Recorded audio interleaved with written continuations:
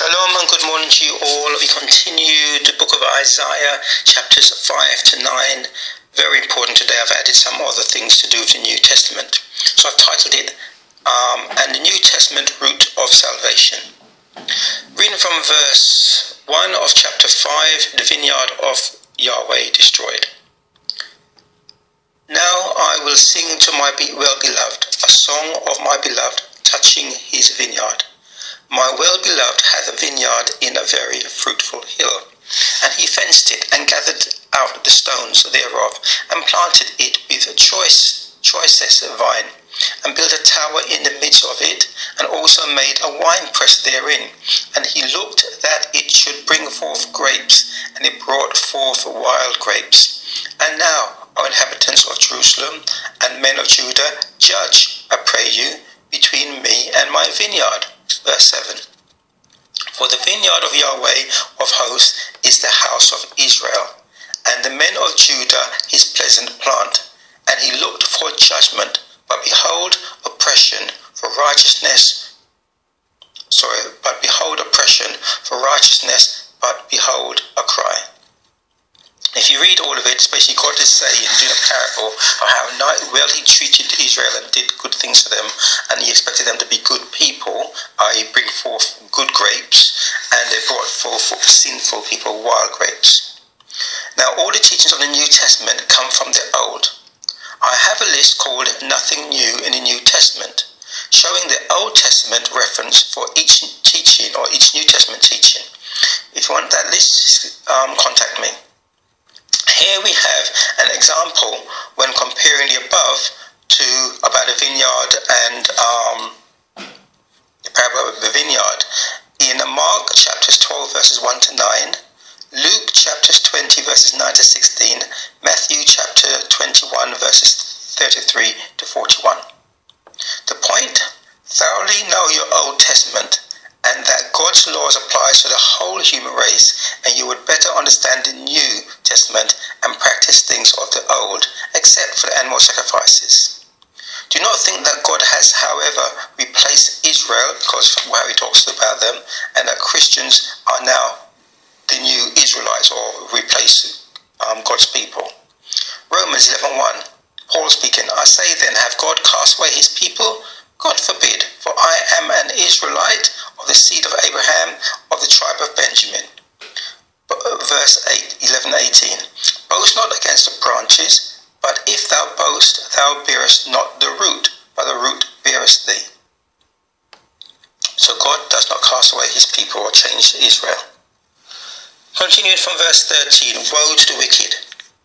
Therefore my people are gone into captivity because they have no knowledge, and their honourable men are famished, and their multitude dried up with thirst. Therefore hell hath enlarged herself, and opened her mouth without measure, and their glory and their multitude and their pomp, and he that rejoiceth shall descend into it. Verse 20 Woe unto them that call evil good, and good evil that put darkness for light and light for darkness, that put bitter for sweet and sweet for bitter. Woe unto them that are wise in their own eyes and prudent in their own sight. Verse 24. Therefore, as the fire devoureth the stubble, and the flame consumeth the chaff, so their root shall be as rottenness, and their blossom shall go up as dust, because they have cast away the law of Yahweh, the God of hosts, and despised the word of the Holy One of Israel. Verse 25 Therefore is the anger of Yahweh kindled against his people, and he hath stretched forth his hand against them, and hath smitten them, and the hills did tremble, and their carcasses were torn in the midst of the streets. For all this his anger is not turned away, but his hand is outstretched still. If Israel, God's son, was severely punished for not keeping his laws, does it make sense he would not punish Gentiles, the unholy, the unholy, the unholy others? Christians are making the same error Israel did. Woe unto them that call evil good and good evil, that put darkness for light and light for darkness, that put bitter for sweet and sweet for bitter. Woe unto them that are wise in their own eyes and prudent in their own sight. In other words, instead of Christians trying to learn from the Jews who got oracles of God and adding their faith of the Messiah to the keeping of God's commandments, as the apostles and the early church did, and also the Messianic Jews of today do, the Christians of today follow a Jesus, who they say has taken away the commandments, and then try and teach the Jews to follow such a Jesus. Fulfilling verses 20 to 21, rather than the Jews being the light to the Gentiles, as it says in Isaiah chapters 42 verse 6, Isaiah 49 verse 6, Isaiah 60 verse 3, Luke chapters 2 32, Acts chapters 13 47, and Acts chapters 26 verse 6. And as I've said before, I think it's in Acts chapter 735 or thereabouts. Actually, it's Acts chapter 738, which reads, This is he that was in the church in the wilderness, the angels which spake to him in a Mount Sinai, and with our fathers who received the lively oracles to give unto us. So Christians today are supposed to be following the oracles that was passed on to them from the church in the wilderness through the apostles and on to believers or seekers today. When we studied the books of Kings and Chronicles, we saw Israel, commonly called the 12 tribes, go into slavery and suffered many of the curses of Deuteronomy 28. In verse 25 above, we see some of these curses also befalling Judah for the same disobedient reason. Their carcasses were torn in the midst of the streets. So note the curses of Deuteronomy 28 happened in biblical times, not to a black population the last 400 years. We shall see more of these curses later on. That is reading events into the Bible rather than noting when they actually occurred in our Bible. If you do not know, we shall also read of Judah going into slavery to Babylon. The books of the prophets record the part that they, the prophets, played in those historical events of books of Kings and Chronicles. Moving on to chapter 6, Uzziah's vision of the Lord. Verse 1. In the year that King Isaiah died, I saw also the Lord sitting upon a throne, high and lifted up, and his train filled the temple. Above it stood above it stood the seraphims, each one had six wings with two he covered his face, and with two he covered his feet, and with two he did fly. And one cried unto another and said, Holy, holy, holy is the Lord of hosts. The whole earth is full of his glory. And so on. So here we see that angels have six wings, not two. Compare with Revelation chapters 4, verses 2 and verse 8.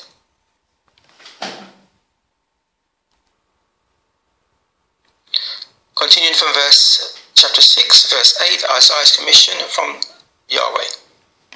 Also I heard the voice of Yahweh saying, Whom shall I send, and who will go for us? Then said I, Here am I, send me. And he said, Go and tell this people, Hear you indeed, but understand not, and see you indeed, but perceive not. Make the heart of this people fat, and make their ears heavy, and shut their eyes, lest they see with their eyes, and hear with their ears, and understand with their heart, and convert and be healed. Healing comes from understanding the need to obey the commandments and keeping them, inclusive of Exodus chapters 27, verse sorry, Exodus chapter 24, verse 7, and Leviticus chapters 23. Verse 10 above was quoted by Yeshua in Matthew chapters 13 verse 14, Mark 4 verse 12, Luke 8 verse 10, John 12 verse 40, Acts 28 verses 23 to 26, and Acts 28 verses 23. To whom he expounded and testified the kingdom of God, persuading them concerning Jesus, both out of the law of Moses and out of the prophets. Acts 28, verse 24, And some believed the things which were spoken, and some believed not. And we shall add more to this point later on about what is the testimony and the teachings of the apostles. Chapter 7, verse 1. And it came to pass in the days of Ahaz, the son of Jotham, the son of Uzziah, king of Judah, that Rezin, the king of Syria, and Pekah, the son of Remaliah, king of Israel, went up towards Jerusalem to war against it, but could not prevail against it. And it was told the house of David, saying, Syria is confederate with Ephraim, and his heart was moved, and the heart of his people, as the trees of the wood are moved with the wind. Then said Yahweh unto Isaiah, Go forth now to meet Ahaz, thou and Shear-jashub, the son of, and Shear-jashub thy son, at the end of the conduit of the upper pool in the highway of the fuller's field. And say unto him, Take heed and be quiet, fear not, neither be faint hearted, for the two tails of these smoking firebrands, for the fierce anger of Rezin with Syria, and of the son of Remaliah. Because Syria, Ephraim, and the son of Remaliah have taken evil counsel against thee, saying, Let us go up against Judah and vex it, and let us make a breach therein for us, and set a king in the midst of it, even the son of Tabeel. Thus saith Yahweh God, it shall not stand, neither shall it come to pass. For the head of Syria is Damascus, and the head of Damascus is Rezin. And within threescore and five years shall Ephraim be broken, that it be not a people. And the head of Ephraim is Samaria, and the head of Samaria is Remaliah's son. If you will not believe, surely you shall not be established.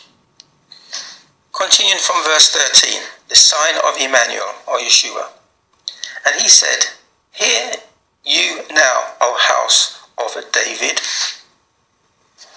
Verse 14 Therefore Yahweh himself shall give you a sign. Behold, a virgin shall conceive and bear a son, and shall call his name Emmanuel, which means God with us. Verse 15 Butter and honey shall he eat, that he may know to refuse the evil and choose good. Remember Romans chapter 7 verse 12, wherefore the law is holy and the commandment holy and just and good. So that is what Yeshua will be following to refuse evil. Continuing from verse 16. For before the child shall know to refuse the evil and choose the good, the land shall thou abhorrest, shall be forsaken of both her kings. Now, in reference to what we read in these verses, see Matthew chapters 1 verse 23 and Luke chapters 1 verses 31 and 34. The events of chapter 7 happened about 734 years before Christ was born, giving credibility to the Bible over other religious books as it predicts future world events. Moving on to chapter 8, I'm going to start at verse 13. Sanctify the Lord of hosts himself, let him be your fear, let him be your dread. And he shall be for a sanctuary, but for a stone of stumbling and for a rock of offence to both the house of Israel for a gin and for a snare to the inhabitants of Jerusalem. And many among them shall stumble and fall and be broken and be snared and be taken. Bind up the testimony, seal the law among my disciples. So this is talking about the Messiah coming and how some of the Jews in the New Testament will not believe. And this, they come onto these stories that Yeshua said, break down this temple and I'll build it back up, and, and so forth. And whoever falls on this stone, it, um, stone, stone being him, whoever don't believe in him, will have problems. Now, Isaiah's child's name in chapters 1 to 4 means the spoil hastens, the prey speeds, and is a warning to the coming destruction of Damascus and Samaria.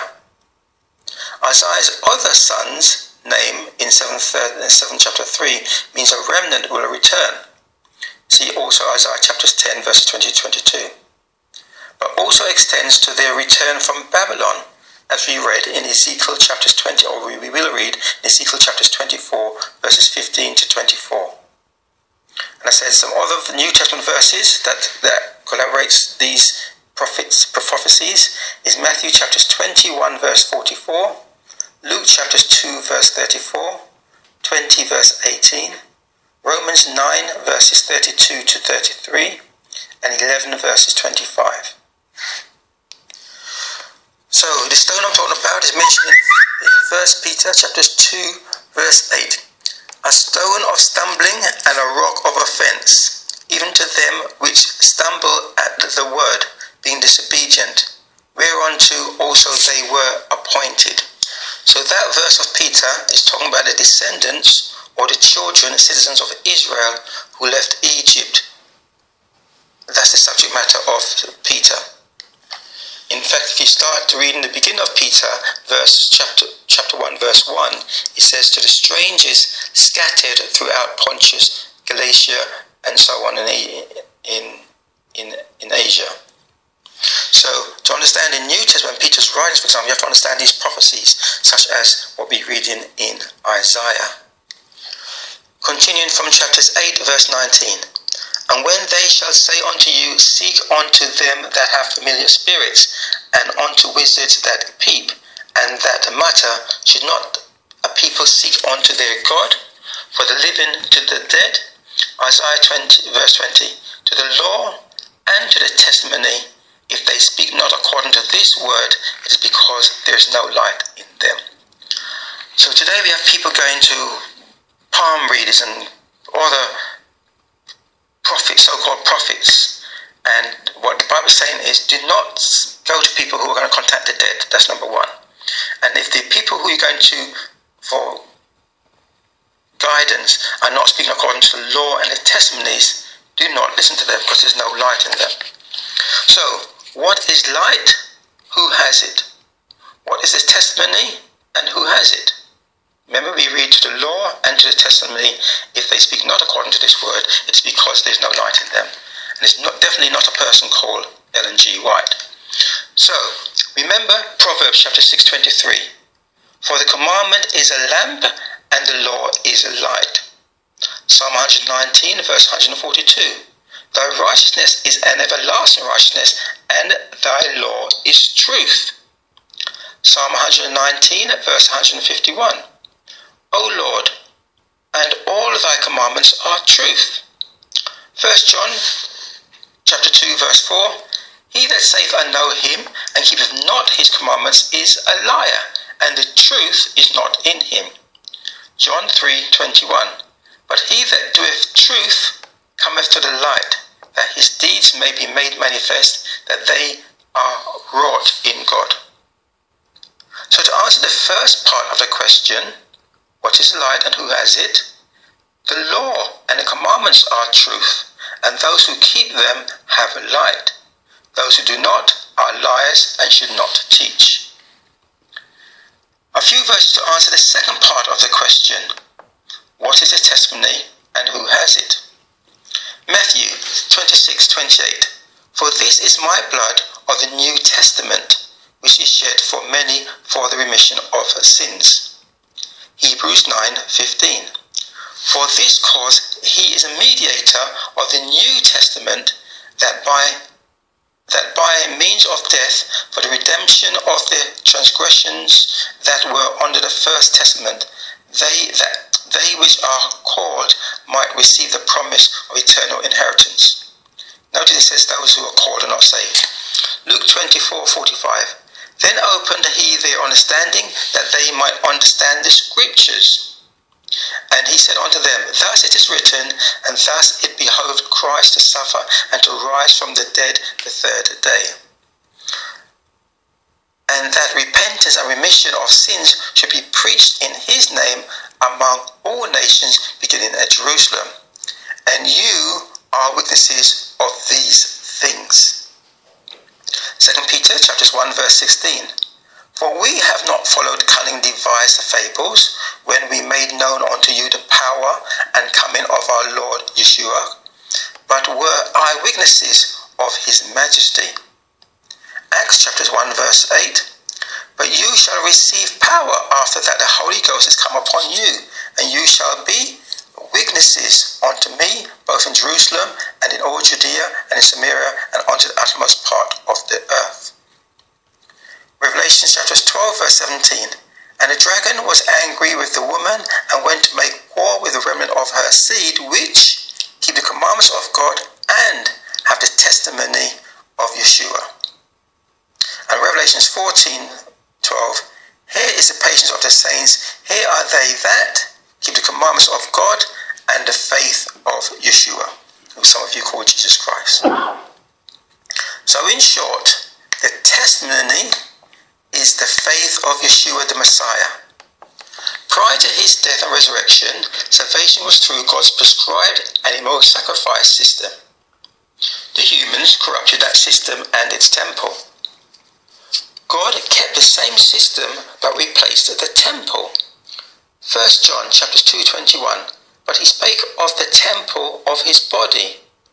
1 Corinthians 6 verse 19 What? Know you not that your body is the temple of the Holy Ghost which is in you, which you have of God, and you are not of your own? The sacrifice is as you read in these other verses Hebrews 9:26. He appeared to put away sin by the sacrifice of himself. Hebrews 10:12. But this man, after he had offered one sacrifice for sins forever, sat down on the right hand of God. Hebrews 13:15. By him therefore let us offer the sacrifices of praise to God continually. That is the fruit of our lips, giving thanks to his name. So the law and testimonies is a commandment, commandments of God and faith in Yeshua. The prophets prophesied of this new way to come, i.e., in Isaiah chapter 7, verse 14. Yeshua proclaimed himself as the New Testament in Matthew 26, verse 28. And the apostles were able to give eyewitness testimonies of the New Testimony. We are called to believe in, the, in their testimony and to add to it our faith in it as our testimony, so that on our judgment day we, like our predecessors, will also have the commandments of God and the testimony in God's forgiveness system for our sins. Remember earlier I mentioned 1 Corinthians 14:32 and the spirits of the prophets are subject to the prophets and 1 John 4 verse 1, Beloved, believe not every spirit, but try the spirits, whether they are of God, because many false prophets are gone out into the world. He that First John 2 verse 4, He that saith, I know him, and keepeth not his commandments, is a liar, and the truth is not in him. First John 5 2, By this we know that we love the children of God when we love God and keep his commandments. For this is the love of God, that we keep his commandments, and his commandments are not grievous.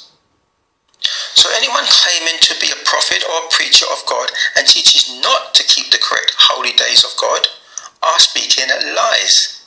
The spirit guiding them does not line up with the spirit that guided the Bible prophets, so neither would their testimony and teachings. See also um, chapters 9 verse 15 below.